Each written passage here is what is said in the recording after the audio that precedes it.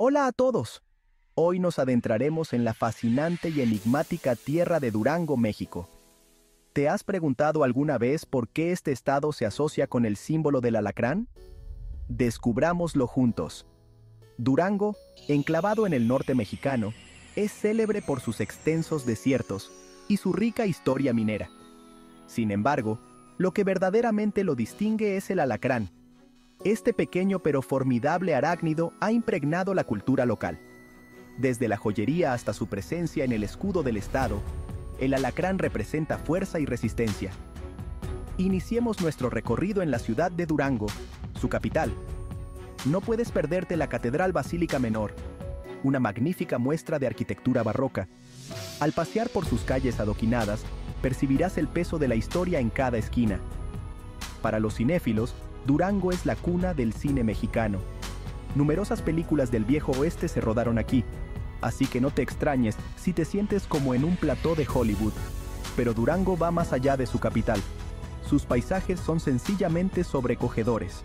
Imagínate caminando por la Sierra Madre Occidental, rodeado de cumbres imponentes y bosques frondosos. La Reserva de la Biosfera de Mapimí es una parada obligatoria.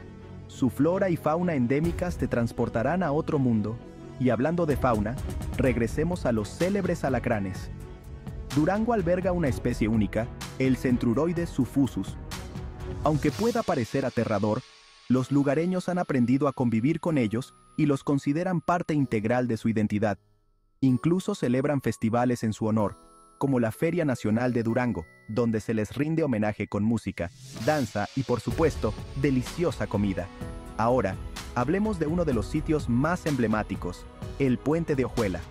Este antiguo puente colgante, otrora utilizado por mineros, brinda vistas impresionantes y una buena dosis de adrenalina a quienes se atrevan a cruzarlo.